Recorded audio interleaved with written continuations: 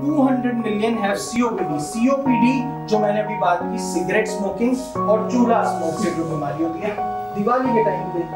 आपके पटाखे बज रहे धुआँ हो गया, उससे एक्सपोजर हो गया, सांस फूल गया। These are all triggers for asthma so asthma is a chronic disease दो हफ़्ते से ज़्यादा की खांसी अगर हो तो हमें टीबी की जाँच ज़रूर करानी चाहिए, चाहे वो एक एक्सरे हो, चाहे वो बलगम की